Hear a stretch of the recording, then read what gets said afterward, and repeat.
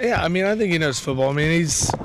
I, I wouldn't say he's ready today, you know, to just go on the field just because it's hard to learn our system. But I mean, we have a lot of practices between us and you know the first uh, first game, and I think by then, you know, I think he'll be ready. Of I don't even know how many more practices we have 10, 20 more practices under his belt to learn the system, and you know, I mean, he's getting better every day, but it's just kind of a gradual uh, gradual thing. How are you getting along with the grind of camp?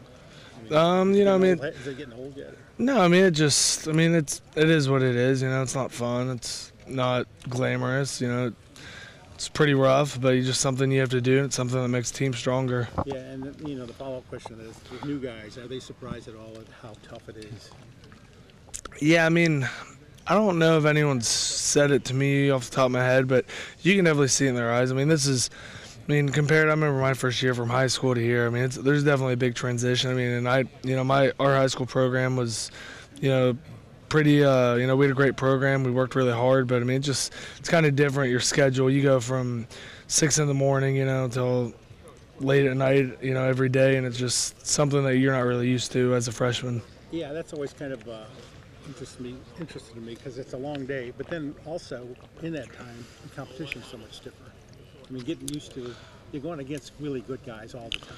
Yeah, yeah. I mean, I, I think I just you know part of the transition. You know, it's something that I think all those guys realize that you know when they come here that it's obviously not going to be as easy as it was in high school. So it's just something they had to get used to and keep working at.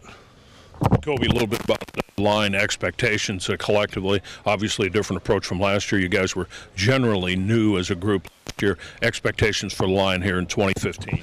Um, you know, I mean, I think we have the same expectations as we had last year. We want to be the best offense line in the Big Ten, and you know that's our goal. Um, just go out there every day, get better at the things that we can control, and just work from that. Anything different from what you can tell with Coach Warinner's uh, his time now as a co-OC, not just the line coach? Um, no, I mean he's he's pretty much the same. You know, I mean he takes you know his job. Pat, you want to join?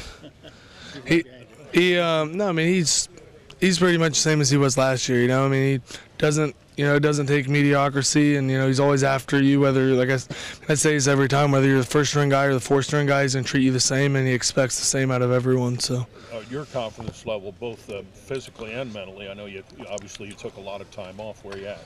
Um, I'm good now, so I'm ready to play and looking forward to the first game.